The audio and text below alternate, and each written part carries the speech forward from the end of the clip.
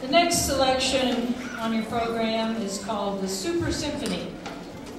It was originally called the Super Mom Symphony, but one of the teachers that was volunteered is obviously not a mom. Thank you. Hey, somebody's listening. That's great. Now we have so we have what was mom number one, number two, number three, and number four. Uh, they're not really band people, but they are familiar with their way around the kitchen.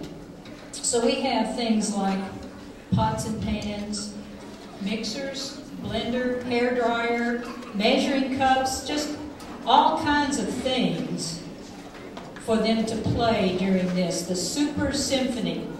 We have uh, mom number one, which is Deanna Thompson. Come on down, Deanna.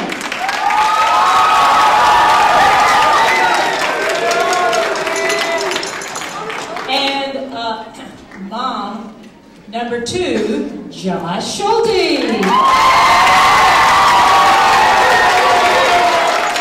The eighth graders volunteered him. He kindly consented.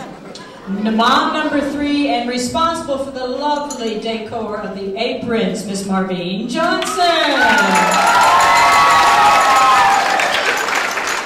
And finally, mom number four, also our drama coach, Miss Wendy Wilkins.